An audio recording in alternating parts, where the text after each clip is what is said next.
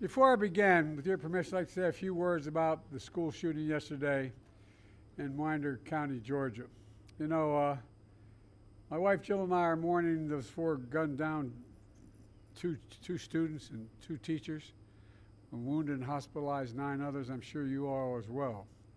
You know, uh, students, just young teenagers, educators, just doing their jobs, a community like so many around the country just getting back to school and a joyous and exciting time, absolutely shattered, shattered. I directed my team to immediately ensure that we're doing everything we can to provide support. The Department of Justice and the FBI are working closely with the state and local law enforcement investigating this. We have a lot of information, not all of it.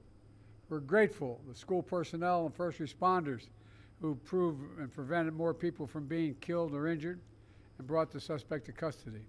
But as a nation, we cannot continue to accept the carnage of gun violence. I'm a gun owner. I believe strongly in the amendment, but we need more thought, more than thoughts and prayers. Some of my Republican friends in Congress just finally have to say enough is enough. We have to do something.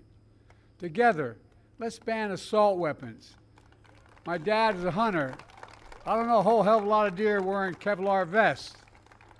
I'm serious about this. High capacity magazines, once again, what do we need them for in terms of domestic use? There are too many people who are able to access guns that shouldn't be able to. So let's require safe storage of firearms. I know I have mine locked up, but how could you have an assault rifle, a weapon in a house, not locked up, and knowing your kid knows where it is? Got to hold parents accountable if they let their child have access to these guns. Let's enact universal background checks, and then immunity, and then immunity for gun manufacturers. And I realize I'm in a rural area like the rural parts of my state where guns, we all have them. And it's not popular to talk about it. But the truth is, there's a difference between rational and irrational.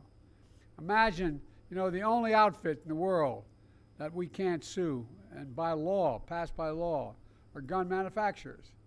How about if that was the case with big tobacco? What do you think would happen? If we're not able to have sued tobacco, how many more people would be dead now, but, but, but for the uh, uh, but for the ability to change the law? Folks, common sense measures supported by responsible gun owners. You know, it won't bring back those children, but uh, thousands of children have been gunned down across. You know, more children are killed or die from a gunshot wound than any other reason in the entire United States. Every disease, every accident, everything. More die as a consequence of a bullet in the United States of America. But they'll help save lives if we do the things we're talking about and prevent communities from being ripped apart again. We can do if we do it together, and I really think we can. So I just wanted to say that before we began.